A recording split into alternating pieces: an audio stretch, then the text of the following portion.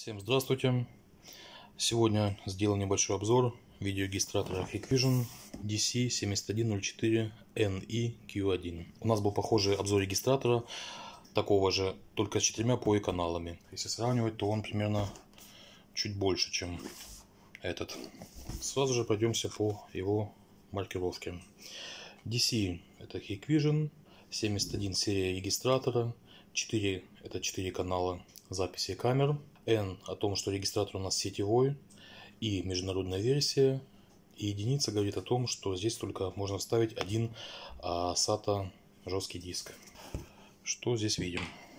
Инструкция, мышь, USB для первоначальной настройки регистратора, блок питания для него, блок питания 100-240 вольт, 0,7 ампер на входе, 12 вольт 1,5 ампера на выходе. То есть, э, поскольку он не поиски, здесь уже можно небольшой блок питания на 1,5 ампера, который хватит чисто для ваших винчестеров, процессоров и сетевых скарт.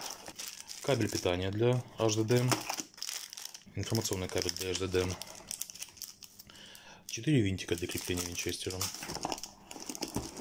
сам регистратор и сетевой патчкорд. На самом регистраторе видим индикацию трех состояний. Включение-выключение, состояние жесткого диска, состояние сети. На задней крышке мы видим вход для блока питания, разъем для VGA, для HDMI. То есть мы еще можем подключить старые мониторы, два USB порта и один порт LAN, винт для заземления.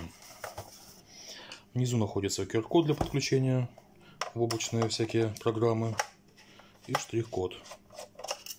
Если мы открутим 4 винтика, вот на такую коробку весь наш регистратор. Где мы видим разъем подключения информационного кабеля для винчестера, силового кабеля для винчестера, батарейка биоса, наш динамик, центральный процессор. Что касается характеристик, только один винчестер SATA до 6 терабайт Исходящий поток 60 мегабит в секунду, входящий 40 мегабит в секунду.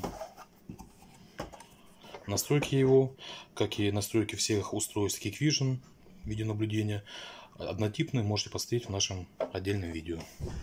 На этом все. Спасибо за внимание. До свидания.